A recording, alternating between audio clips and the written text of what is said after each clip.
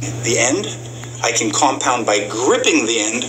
I can even compound by hitting the far side of his head or his body. So tracing and compounding, a very, very simple technique for increased precision, applying all of your power to the desired target, and also to ensure that we bypass any sort of psychological inhibitions that may be lurking there, and also reduce the risk of any post-traumatic stress or uh, discomfort after the fact. One of the most definitively Russian elements of Systema is the um, aspect of Slavic boxing, or what is commonly termed fisticuffs. Slavic boxing was originally created as a uh, cultural, almost folk festival activity, and it was immediately intended for use against multiple attackers. As a result, there's a wide use of elliptical and figure eight motion so that we can address as many attackers as possible. Here we're only addressing the one solitary Anthony, so we're going to compress it down to a smaller range of motion. If we revisit the work that we did on previous DVDs, I had introduced the notion of a Slavic jab. And a Slavic jab is rather than delivering simply a punch in, in, in sort of isolation and then following with a cross or working with the other hand, the basis of the Trinity strike is to see how I can use the same hand to deliver two shots. So normally we have those primary knuckles, whether we're striking with the first two or the bottom three, leading the way. The thumb is down, and then from that position, the elbow stays high as a defensive measure, and I corkscrew around so I can deliver a hammer fist. So with a hand, it's already devastating. And we remember one of the key principles to improvised weapons is not to always rely on it. Just because I have it doesn't mean I need to stab. The reality is a straight punch is probably going to deliver a lot more damage and be far more familiar and precise than some kind of bizarre, confused front stab with the pen. So I want it to be a natural extension of my motion, my jab into my hammer fist. And that's the beginning of the motion. We've already seen this in previous volumes. But from there, the notion of trinity striking is using the one arm to deliver three or more strikes. And the reason for this is that if we look at a basic boxing combination, lefts and rights, lefts and rights working, at most, most people will operate on a single beat, meaning they'll punch and retract, punch and retract. A more experienced person will operate on a half beat, meaning that at the point of retraction, the second hand is already following. But it's very difficult in conventional two-dimensional boxing to get to a quarter beat. And a quarter beat can normally only be had by filling the gap between one hand and another in this manner. And so by using that Slavic jab, we immediately start filling in the gaps. A second reason we use the Trinity strike is that in situations of fear, oftentimes we're, we're, we're quite defensive, and you see people sometimes un, unskilled slap fighting or trying to use one hand to keep the person away. So the Trinity strike allows us to use that single hand just to keep them at bay and to weaponize that posture. It's also very, very confusing to someone who's conventionally used to sort of shielding, with, you know, against left-right attacks. So very common uh, combinations we'll see is that Slavic jab, that punch into a hammer, and then normally a side sidestep into a Slavic hook. And a Slavic hook normally is not done with a tremendous amount of torque from the waist, but rather the body, rather it's simply the flexion of the bicep delivering the power. So when I'm here, I can deliver that quite quickly, and I can at any point choose to turn it into a spike, or I can choose to use that spike on the side of the temple, the side of the jaw, right across the face, like this. And so those are very simple drills. The arm is often referred to also as being a triangle with three points of movement. So from there, as I'm moving into my hammer or my hook, I can start to look if I can go from hand to elbow to hand. And this is a great way of changing the rhythm. I'm just using a sternum for durability. So very, very basic mobility drills that allow us to move quite naturally through the arm. This is all derivative from traditional Cossack shashka or saber work, where the saber would be used and sort of flayed to keep distance. And we see the direct translation to fist work. If you're if you're working even in a sportive environment in your boxing and you start just throwing in that hammer fist, if your rules permit it in your gym, you'll see a massive difference in how quickly you score and you'll interrupt the pattern of the other person. So again, a basic combination. We go for a jab, whether with our knuckles or a pen, right into our hammer fist, sidestep and hook. And that's a basic right in there. Or we can go from our fist to our elbow back to our hammer. And again, that allows a very, very fast transition, overwhelms their nervous system, and gets you in all while using only one hand. People always want to know how they can use improvised weapons to affect pressure points and vital points. Um, my opinion is that there are only few high probability points. Um, secondly, they're only really going to be usable in very specific contexts um, where there is a, a, a, a, more compliant degree of interaction or where the person is being passively resistant or mildly resistant. They're not usable usually in, in hugely dynamic fist swings. Um, and thirdly, they're generally only advisable by people of uh, superior experience that have some familiarity in the context or who certainly have professional obligations like law enforcement or security officers to minimize the amount of damage they're doing. This is not a go-to for a woman self-defense program. It is not the most important thing to learn at the beginning, but for those of you that are interested, I will show you three or four of the most essentials. So here again, I'm using a Kubotan. I'm going to be, be uh, showing you a few of the basics and some of the most common mistakes. Mandibular angle is a good one, uh, particularly for intervention from the back. It's good for removing people out of chairs. If you have somebody as a, as a bouncer, we often have people squatting in the bathroom doing drugs. This was a primary go-to.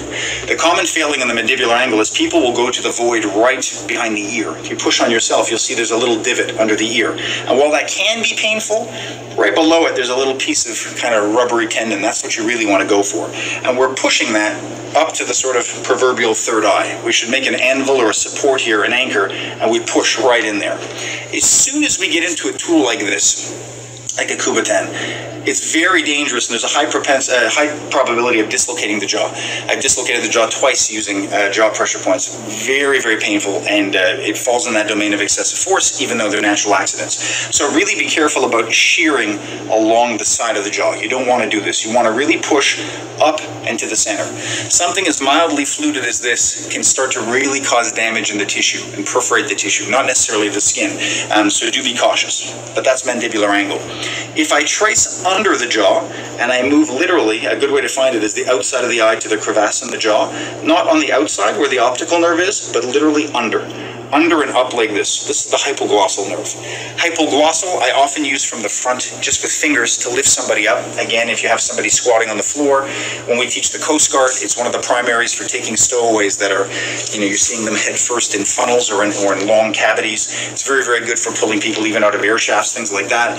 Um, straight up like this, or it can be used, you can lift and, and drive in here.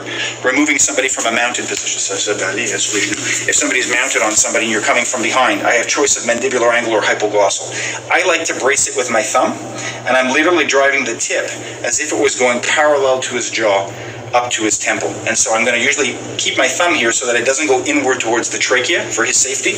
And I'm going to brace the outside like that. And it's very little pressure. It kills. You feel it right up the side of the eye. So mandibular angle, not the divot, right underneath hypoglossal, following the inside contour of the jaw, not going towards the middle tissue. A third one, absolutely essential, we've covered it in previous DVDs, is the natural nostril. And the natural nostril is the notion that I pull the nose aside and I apply pressure into the skull hole where the nostril would be. When I work with the pen and I or the, the Kubotan, I just put mild pressure. This is already like dentistry on the face. Yeah, it's brutal. Um, I can also use the top here and just push that nose over or pull like I'm paring an apple. It takes very, very little force, um, but they're excellent, excellent for moving people, particularly that one. The mandibular angle and the natural nostril are good for people in semi-lucid states. In fact, mandibular angle is widely used in the military. If you have somebody feigning uh, unconsciousness or death, Normally, we'll address them from the feet. We'll talk about this in our restraint DVD, but how to move the feet and to see if the person's moving. But if they're absolutely catatonic, mild pressure, uh, military guys will sometimes use the tip of their knife, but any pressure with uh, even a gun barrel, hot gun barrel, or with uh, something sharp, even your thumb, will normally cause the eye to flutter, even if that person's almost comatose. So it's a good way of seeing if someone's dead or not, or if they're faking. If the, you put a little bit of pain, sometimes they'll start screaming and jump up and immediately drop the charade. So great, great, great pressure points, mandibular angle, hypoglossal, and natural nostril. Again, only really advisable for security professionals or those that have the extra level of skill and want to make the choice of minimizing harm, but uh, a very good set of points to have in your toolbox nonetheless. Now, I would like to discuss the idea of breaking structure in the human body and the notion of three planes of movement. If you stand up, and you are likely in a, in a square room right now, but if you imagine yourself in a cube, your body is capable of making rotations or circles on three surfaces. We have the walls in front of us and behind us, so I can make, for example, a circle with my arm on what's termed our frontal plane. We have the walls to our side, which is what's termed our horizontal, or pardon me, our medial plane, and then we have circles right on the ceiling and the floor, which is what we term our horizontal plane. The human body, when we think of it, oftentimes we, you know, most people go to break structure and they try to break it front to back on what's termed the medial plane. But the reality is, if you think of elite athletes and you think of the way the human body is able to spin and maintain balance at the highest level, it is actually on the horizontal plane. If you think of uh, a figure skater, for example, they can spin tremendously fast, tremendously balanced on a very, very small spot, or a dancer on the horizontal plane far easiest. Second would be the medial plane, not first. The medial plane would be a shoulder roll or a front flip. You might have somebody who can do one or two back flips in a row, but they'll never match the power of a horizontal or axial rotation. And then finally, we'd have the frontal, like a cartwheel. And if you really look at somebody doing parkour, for example, or acrobatics, it's very rare they'll do that frontal plane rotation and stay purely on that plane. Normally, they'll pike and twist to the axial plane and have a horizontal spin in there to get the power. Why this matters is that when I attack somebody with an improvised weapon, there is usually amplified pain and there's always a lot of fear and surprise. If somebody doesn't see the pen in your hand, you give them a little tap and they start to bleed, people will often panic, especially with cosmetic injuries to the to the forehead or, or actual damage to the eyes. People will start to panic and move away, and they'll rarely back up straight. It's very rare, unless the person is quite drunk or stoned, that they'll move back like this. Normally, they'll cower to the side, and so as a result, when we start to cause that pain, breaking structure will require to rotate the body and then usually bring them back on the medial plane. So as a basic preparation for your mind, any damage that you cause to that face, for example, is likely to cause them if, they, if they're not ready for it, to turn away. If they're more skilled, they might change levels, and then we're looking at a grappler who's looking to shoot in. But again, affectation is still going to be on that axial plane. We're always looking to turn that face away from us and to steer the wholeness of the spine using the weapon or using our hands. Another thing that we want to revisit from our previous DVDs is that the spine is, com- is composed of three fundamental arches. We have the cervical arch of the neck, the thoracic arch of the back, and the lower lumbar arch the lower back. When when I'm looking to apply leverage to somebody, I don't want to brace those arches. Common mistakes are people will grab the neck when trying to cause pain to the neck, grab the shoulder when trying to break the thoracic arch, or brace the lower back when trying to buckle someone backwards. You will have far more mechanical advantage if you work at the collar, the bra strap, and the belt. I want to have it right at the base of that lever so when I apply pressure, the wholeness of that lever gets affected and I amplify my force. So even if I just apply the lightest of pressure with the pen into the eye, for example, and I drive, huge effect. If I try, for example, I spike into the neck and I want to push, you see Anthony's natural response is to curve away on that horizontal plane. If I brace him on the shoulder, I'll block my own power. But if I just stop him below the shoulder blade, that's going to break that structure far easier. And if I do want to work against the lower back, I'm a big fan of gripping that belt so that when I, let's say I work into the suprasternal notch into the neck, if I drive them down, it's the easiest way to put them down. To learn this, you simply want to study where your hands naturally fall and look to make sure we're not in the habit of bracing those arches. It's a very simple thing to correct, but it does take some repetition. Grabbing the collar, grabbing the mid skin or the shirt, or grabbing the belt are three easy ways to fix it. And those fulcrums don't need to be resistant, they simply need to be present. Usually, I'm going to cause all the damage with the spike and push the person over, or the arm, push the person over with the second arm and then drive in. So again, the human body, three planes of movement. Pain is likely to cause them to cower and turn away. Anticipate that, ride it, and then take them back on the medial plane. Make sure you brace the bottom of those three arches, and you'll massively amplify your power and your success in taking them down some improvised weapons are particularly useful for quick disposal and throwing uh, in order to create a distraction. Um, again, going back to my intro, I've seen people advocating throwing the keys, right? So you throw your keys and then you run to your car and presumably break through the window and hotwire yourself in, or you're climbing through your bathroom window to get into your house. I'm not quite sure what the logic is. Uh, naturally, we wouldn't throw keys, we wouldn't throw something of value. Something like a pen, assuming it's not a $200 Mont Blanc that you're going to weep after if you throw, um, is a very, very easy and simple thing to throw. When throwing an item, two things are essential. The first is I prefer not to have a massive telegraphic action, unless I'm doing it intentionally as a fake and then moving in with the pen. So some people will use it like that, big motion, then move in with the pen anyway. If I am throwing it, generally, I'm going to have the pen in a very submissive, casual kind of posture, and I'm going to use the pen. I'm going to get the pen in a line with the target that I'm looking for, and I'm going to release it by flicking my wrist. I won't release it towards the camera, but rather than having this, I now have that. So it's a natural action. It's hidden in my gesture. I'm talking, I'm trying, and then I throw from there. So again, rather than this, I'm looking to simply be at a range where I can encroach. If I throw, I'm making this a natural extension of my body, and I flick it from the wrist as a natural action. So that's one, non-telegraphic. Number two, we don't want to throw and then run exactly in the memory lane of where he last saw me. Because if he flinches, he's going to swing to where he last saw me. If I collide with that fist, it's all on me. Yeah. So instead, what I want to do is release that pen and take one springing step off the side, and then come in with whatever weapon of choice, an elbow or a forearm. So I'll be up, I'll release, and I'll drive through. So again, I'm usually only going to use this if I need that element of surprise. It's already clear to me there's no other way out. I have to be preemptive. I'm going to take that pen, blend it into my natural casual blur, my natural gesture. As I'm talking, I'm here. I throw it by flexion, releasing it in line with the target, step off the line, and spring into that target. Now we're going to move on to a more intermediate to advanced drill. If you are serious about carrying any item and you're going to have it readily available like a pen, uh, you want to be as comfortable with that as possible.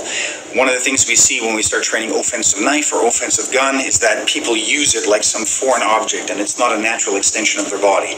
Even something as common as a pen, when we turn to weaponizing it, can sometimes be uncomfortable. So I always tell my students, if you're going to carry it and you're going to fidget with it anyway, at least educate your fidget. So some of the basic ways we can move it. Obviously, we can switch it from hand to hand very naturally and comfortably while we're talking, but we also use the exact same techniques we use for offensive blade work. And the notion here is that under conditions of stress, I may lose fine motor skill. And so what happens is when people try to reach from hand to hand, they trip and they miss, right? They, they sort of lose it and they drop it. The example I always give is the Olympics. You have the best athletes in a country with the best resources, training all day long with the best coaches to do something as simple as run and pass a baton. And yet when they get there, some of them trip. Why? Because we don't rise to the occasion but rather we fall to the level of our training. Stress and pressure aren't going to miraculously enhance your performance. They're not going to add something to it that wasn't there. They're going to take away from it. So we want to have the highest possible passing grade, the highest probability movements beforehand, so that we can afford to have the largest amount of deduction and deterioration and still be functional. If they can trip in the Olympics, we can miss passing something as simple as a pen when we're really nervous and shaking. So one of the keys that we use is what's known as proprioception, or our awareness of our body in space. If I get drunk, one of the first proprioceptions you lose is this. Right? And if you look at a lot of traditional Slavic dancing, like Greek dancing, they have a lot of body touching and heels as they get progressively drunk as part of that game to measure how they can sort of feel where their body is in space as their senses erode. When I pass a blade, rather than just going from hand to hand, we're always in the habit of touching the elbow and strafing down to give our body more information and more awareness about where that item is. And exactly the same way, if I have to pass my pen, I at minimum want to touch my forearm and slide.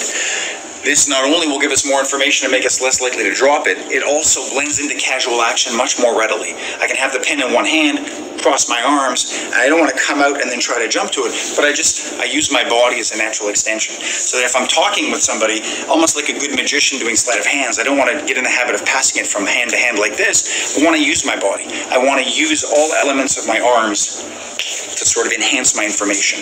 And the second way is to use the body literally, to switch from a from an ice pick grip to an orthodox. So these are two very simple drills that I can do as I'm talking and moving. I can do this while holding a conversation with somebody. They won't even notice that the hands are switching. You can practice keeping it on the body and hiding it. If I have a cover shirt and I've taken it out from underneath, I can practice moving it underneath my cloth and holding it there so that when I access it, people aren't sure what hand it's coming out in. So these are very, very simple ways to pass the time that will enhance your manual dexterity that also have direct tactical application in higher level encounters. So, as you've already gathered from my introduction and previous mentions, I am not an advocate of uh, weaponizing the keys between the fingers because I believe that's going to cause more damage to me as a wielder than give me any advantage over him. I'd far rather use my actual thumb or knuckles to create damage. It's far more familiar. Um, you know, one of the main reasons people use improvised weapons is that it gives them psychological empowerment. And a lot of people walk around with that notion that the key is going to be amazing. It's going to be that odds evener that's going to give them the upper hand. If they never get tested, then they can walk around with that delusion and be fine. If it makes them feel safer at night walking home, more power to them. But as soon as you pressure test it a little bit, and I invite you to do so, the damage falls onto you. And whatever damage I would accidentally create on my attacker, I'm confident I could more than create with a thumb tip or a finger or a knuckle. So I don't believe in using the keys as a weapon. I believe we should learn to operate without the key. Because what is good is having the key ready. If this is my next door that I'm going through, whether it be my car, or my house. There's nothing wrong with having that key ready in my hand. Purse to go in the lock the way it should. If I'm nervous and I'm making a three minute walk down a dark street and I'm worried about being inter- intercepted, I will have my key ready by all means. But what that means is that if the key should be ready and I'm not an advocate of using it as a tool, I don't want to snap it, then I should learn how to use the rest of my body without it without using it. So if we take something as simple as a Trinity shot, obviously I could just use my free hand. Right? If I have something in one item, another advantage of the Trinity shot is it allows me to provide significant amounts of variety and damage using my free hand. But even if I was obliged, if I was being held and I was obliged to use this hand, I could now choose to punch, elbow, I could hammer without ever needing to use that key.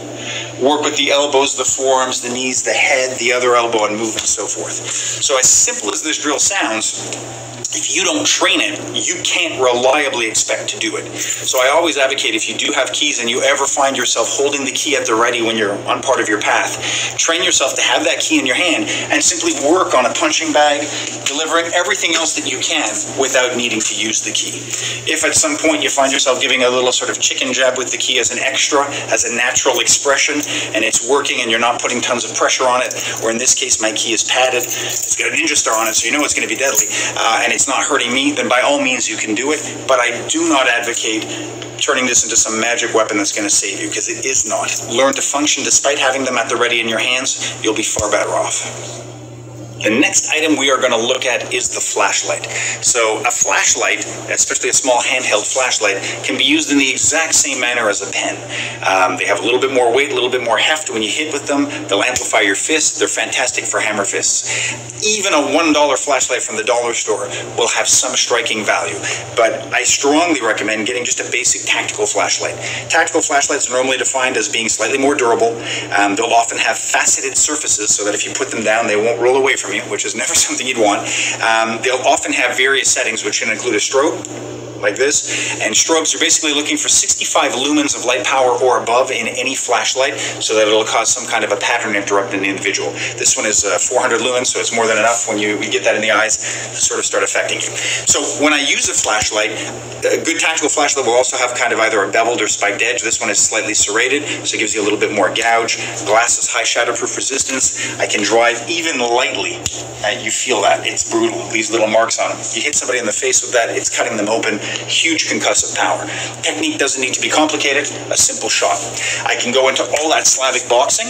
I can do the Slavic boxing with the flashlight on for added advantage, or different flashlights have different settings. Some of them will have the ability to stay on constantly. Some of them will have the ability to go off, so there's no accident. This one has a strobe and then this one also has touch, and touch is the easiest for control. But even if I have a basic flashlight that stays on all the time, I can work at just moving it like this to create something similar to a strobe effect. So all we're looking to do now when we work, one added tactic for a flashlight is the idea of drop baiting. Drop baiting is a boxing concept, and the idea is that if I'm standing in front of somebody, rather than simply punching where the hands are, I keep my item fixed, move away from it. In ordinary boxing context, the idea is that I bait him towards me and then I drive him from where he's not expecting it. But if I now put a light up as I move, the person fixates on the light and doesn't see the shot coming in from the other side. So the two most basic drop baits are light up and on, as I step away and deliver power. In exactly the same way we did when throwing an item, springing off the line and going in. The only thing I need to do is try not to move with. I'm gonna, I can have that flashlight on if I'm nervous about it. It's more of a tactical scenario. I'm clearing my house and I can keep it muffled against my chest, pop it up and drive out. The second way I can do it is by popping it up and changing levels. This is often done with firearm work or with if I have a secondary weapon, but I pop it up and I drive through. So again, light comes up, move off the line. Right? As that light comes up, move off the line, either going lateral or dropping below, drop baiting. Okay guys, now we are going to delve into the world of flexible weapons.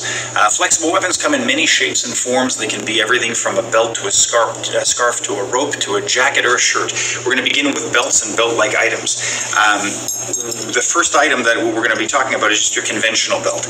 The one thing I do not advocate is trying to access the belt in the context of the fight. I've seen many schools teaching all sorts of complex, quick, you know, sort of removals in the context of the fight. I think if you if you see you have 10, 15 seconds to prepare yourself, you can take it off. You're against the knife, by all means, you can do it. Doing it in the midst of some kind of fisticuffs, I think, is a ridiculous idea. My experience, my opinion.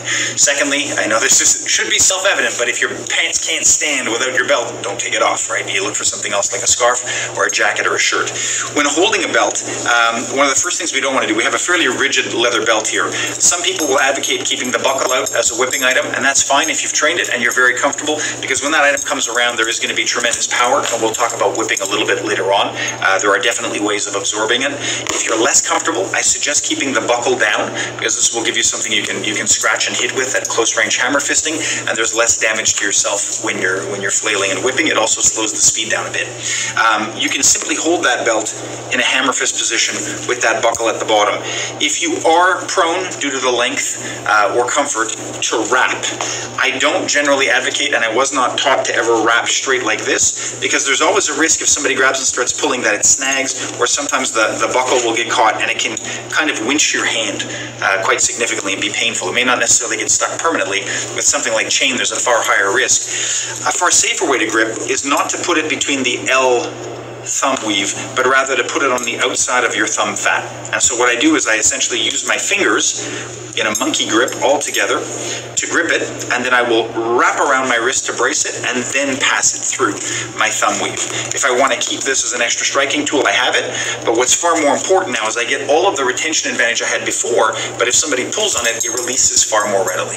And it's something that becomes quite, quite comfortable to do um, with, with the item.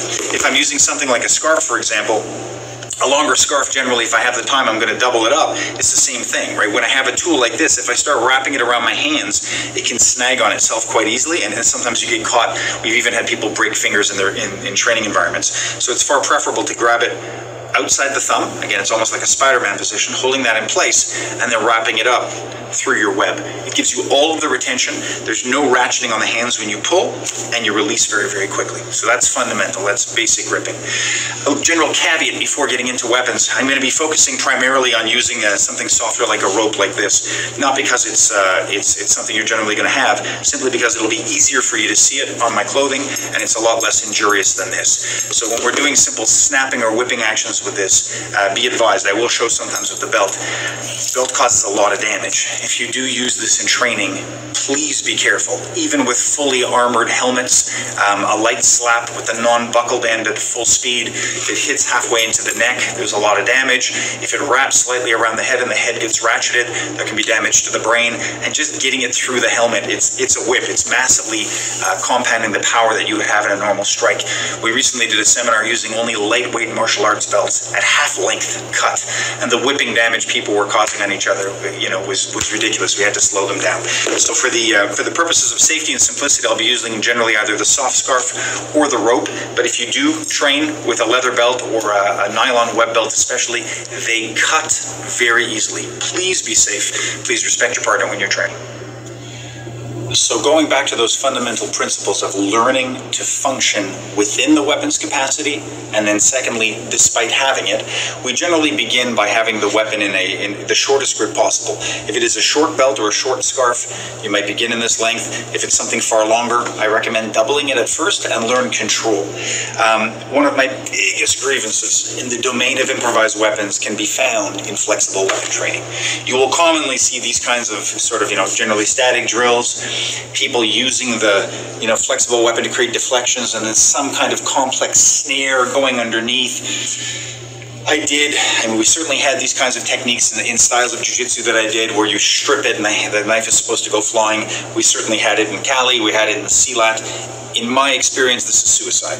When a knife, even if a knife is static and I was able to get around and had that much time, the probability is they're going to flinch and retract and cause grief and damage to me.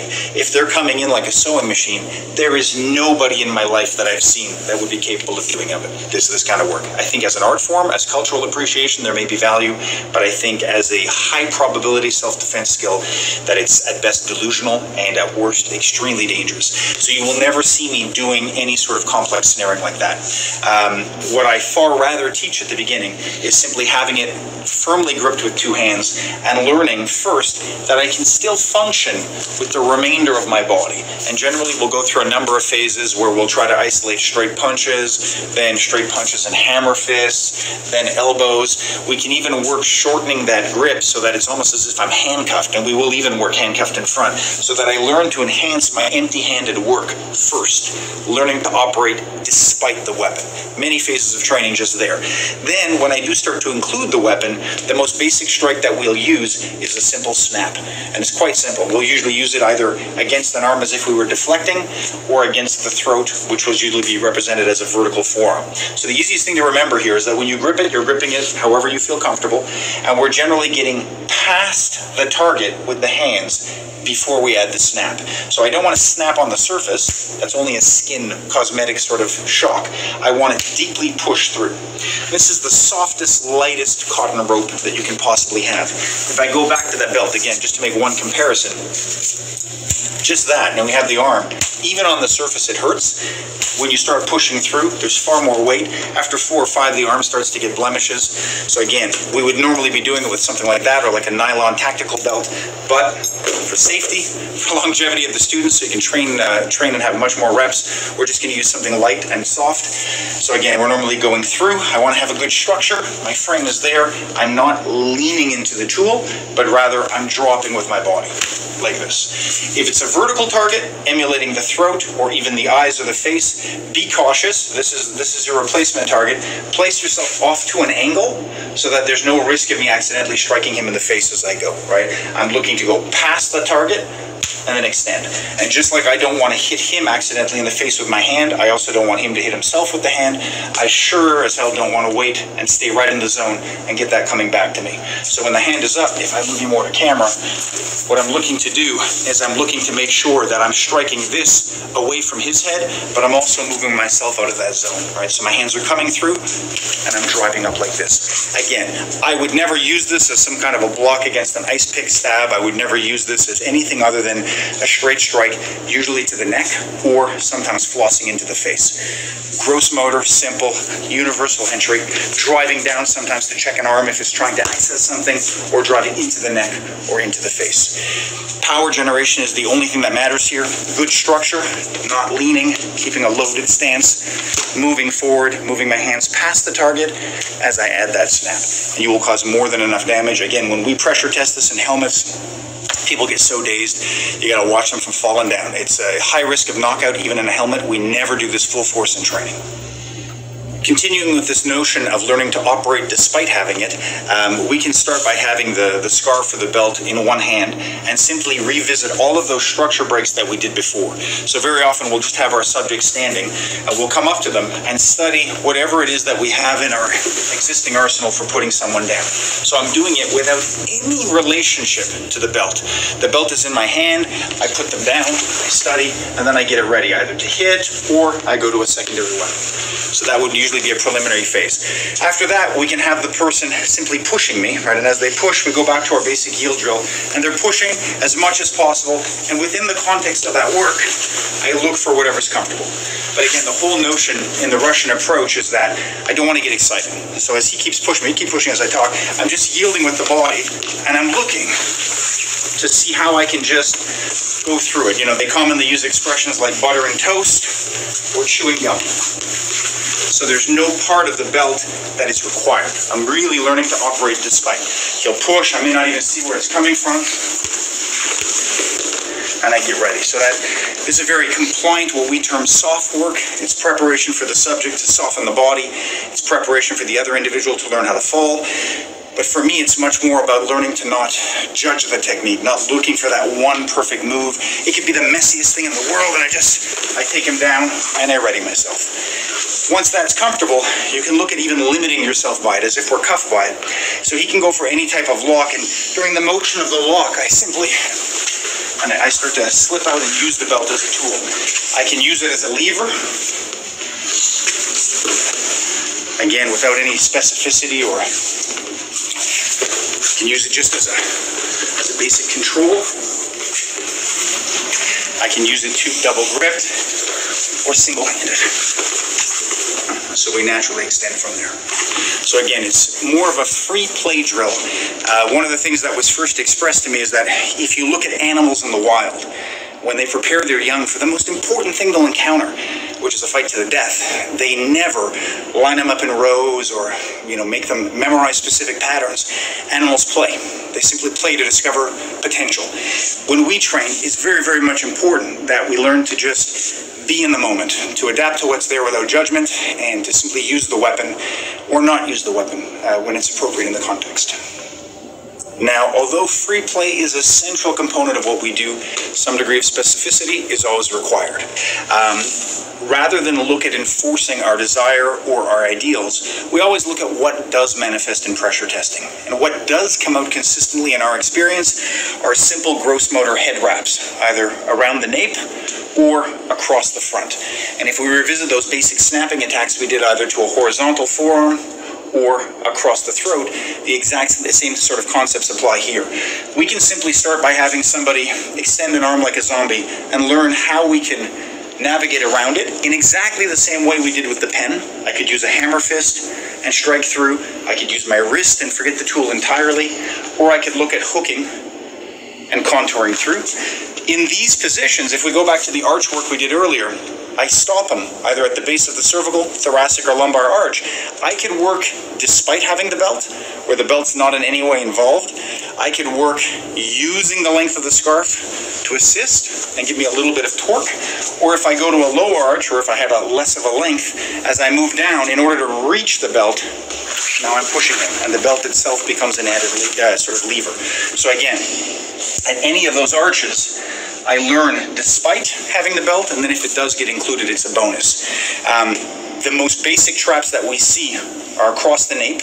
And if we imagine, if I just get Anthony to fist out the arm like that, if I go around the back of the nape, I can choose to just pull, but I can also choose to add snap, like that. That kind of a snap, I'm gonna go very, very light on the back of the neck. Horrifying. Very, very dangerous for the vertebrae very dangerous for the lenses of the eyes, not so good for the brain. So we want to be really careful. Doesn't matter what helmet he puts on, teeth are knocking together, brain is swishing all over like the family Doberman. You want to be very careful. It's going to go right through the windshield. You got to be very, very cautious when you do this work. Nothing too hard in your training, gentle, even pulls. If I look at choking, we'll get into the specifics of blood chokes a little bit later on, but the only thing I don't want to do is clash with my fabric. So generally I'm going to have a downward pulling side and a cross moving side.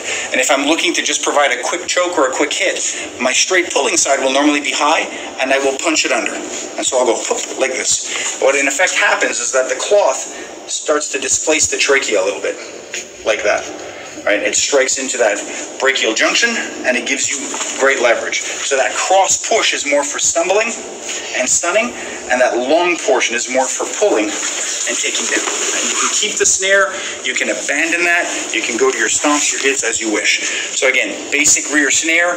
I can again use all my head and arms and limbs that I had before, but the most basic snap down here or a cross grip into that position. If I work from the front, the same thing applies. As I go across the, the throat, I can extend with a little snap here. And I can do that simply to push him back, or I can do that to push him into a structure break. So very, very simple, gross motor. Again, we're not looking to impress with complexity. We're looking to say consistently, after decades of training, what comes out almost all the time for most people. These are the easiest traps that we've seen. They're reliable, they're effective. In real circumstances, they've worked for myself and my students. Around the nape, simple shrug and pull, or across the front, depending on context, relative height, size, and resistance. I really do prefer to keep my work as simple as possible, um, but I will show a few intermediate examples that uh, have been very good for me and that uh, often work for, for students that have a bit of an established base. Um, so we saw in the previous phase that the simple wrapper on the back or simple wrapper on the front is usually the most accessible and easiest. But sometimes, depending on context, you might find your arm is in position first and we can reverse wrap the head. And so the idea here is instead of going in straight like we're holding bicycle handlebars, I'm going to punch past as if I'm going through the face and then reverse wrap here. Now the advantage of this one is that I have all the snaring power of cloth, but now I have my radial edge, my thumb edge of my forearm up into the neck. So that gives you a much harder choking surface. And as I pull, that's more likely to cause them again to rotate on that axial plane. I can still go for what I did before, which is pulling across and pulling down, much, much tighter uh, choke. And some people will even cross grip like that. Not to necessarily abandon, but simply to hold that as an extra, as an extra sort of uh, form of tightness. The idea here is that even if somebody's behind me, I can whip over and I can use it like this. If you've ever done gi work, for example, I can choke straight up like this, but I can also cross reach and pull down. And so this is a very natural extension of that style of work or a sambo uh, sort of kurtka choke. So again, we're punching past the body, pulling this over the back, and then driving that down. Once I'm in position now, a few little subtleties that'll make it worse or better, I can look at motorbiking that over. And you see if I just keep my, my, my left arm in this case solid, as I do this, the ratcheting action drives that in almost like a tourniquet. I can also look at ratcheting and then wrapping this to get rid of any risk of slip like this. So if I'm using this, holding somebody, for example, in a car with a seatbelt, this kind of work can often happen because you can cross grip the seatbelt you see, if you imagine a seatbelt, I can cross grip and I can pull it over the top like this and start to work like that. So it's primarily my, my, my, my sort of wrist and hand working. I can do the same work cross gripping a shirt and pulling the back as well. T-shirts far, far, far more uh, sort of flimsy and flexible. We'll see a little bit later on, they tear quite easily. So oftentimes I'll rely more on my wrist. But for the base belt choke with this, we cross reach, over wrap. That can be a hard pull. I can lever with my elbow I can drive that wrist upward as well like this on a flexion to get into the trachea, and at any point I can punch, release, and go back to my strikes. So that's a reverse wrap neck trap. The next one's fairly self-evident, guys. We're just going to flow through some basic ideas for close quarter striking. Um, again, what matters is not that it's cognitively understood, it's that we train it, right? The simplest thing in the world, like a jab in boxing, cognitively understood very, very easily, but it needs to be trained. So once we do get into this basic snare, what we like to look at is how can we work from here with our strikes? The most overlooked and simplest strikes are the close range hands. Now, people will typically in this position think of always punching and relinquishing the grip, which is fine. But if you keep these as tight as possible and look instead at working with my elbows, my elbows can be delivered a few different ways. I can deliver an elbow like a, a wing, right, where I'm actually impacting with the softer surface, like this, right? It's not going to be a cutting elbow. It's not going to be a, a sharp surface, but it's going to be a very heavy concussive force that will allow me to strike not only without relinquishing my grip like a punch might require, but actually while adding grip. I can tug, tug and hit at the same time. If I have the length, I can look at, or if I if I switch my grip over from this sort of cow milking grip to a reverse ice pick grip, I can look at elbowing anywhere to the back of the head, base of the jaw, mandibular angle, right? I can cross grip relinquish one hand to hit into my elbows. And I can also work, people often overlook this one, but keeping good tension on the back of the neck. I can work, rather than doing an uppercut, which risks hitting me in the phalanges, right in the weak part of the fingers on a jawbone, which is not a good exchange, I work on hitting with that elbow straight up into the jaw or the neck, or even going across and doing all the same work we did with our cross forearm, reverse wrap choke, using just the elbow. And that's tremendous leverage for throws or basic sweeps. So again, we can punch here. I could even do micro work with the thumb into the trachea, but generally we recommend keeping that tension down and looking at how can I hit with the elbow, how can I switch the grip and hit with the elbow, how can I come inside with the elbow, driving up and keeping that tension at all times. And a final one that's essential is the head spear. I can obviously drive a shot in and keep working, but I can likewise keep the head in as I pull and drive to make space and then clear out and go into my strikes. So again, we like to learn to work despite having the weapon, but if we are going to use it, we want to maximize it. So there's no value in putting a trap and then striking in a way where the trap is giving you nothing. Systema literally means the system. And as I mentioned earlier, it is really a, a sort of consistent, interrelated series of parts. We want to fight one way in all domains. So if we go back to one of our most basic entry locks that we saw with the pen and that we've seen in other DVDs, this notion of the underhook and pike, nothing should really change if we have cloth best way to start is have cloth between our hands of a, of a significant sort of expanse, by the, you know, take an average belt size, that kind of expanse. If I work against the arm and move in, this belt is not really required, but it will provide a little bit of extra control and torque across the front of the shoulder purely incidental. The underhook and pike is just such a high probability and effective move even against large and resistant people because it allows us to get in there quite easily. Moreover, people are going to resist going to the floor more powerfully than anything you can fathom. So if I can, rather than drive them onto their face, invite them from this position simply to sit down, the underhook and pike is probably the most agreeable way to do that, right? It's, it, it gives them time to think, to see where they're going, and it ultimately spirals them towards their hips rather than towards their face or their free hand. When I do perform the underhook and pike, again, I'm fighting the deltoid looking for that slap down. I can drive in with this. Some people will just drive in with the, with the wrist edge, again, weaponizing the arm rather than the belt, into the neck. And then from that position, what I'm looking to do is create elongation to pull that away. I can absolutely use my thumb into the nerves of the neck to give a little bit more power. I can drive a few non-telegraphic knees into the low line. The key to the underhook and pike is that I don't want to simply spiral the arm and the head, because if I do, the person will usually twist out the other side. And although I have a belt, it's really giving me anything. If you look at that, there's no trap there. So what I'm looking to do is get his head to six o'clock, get his elbow or his arm roughly to noon.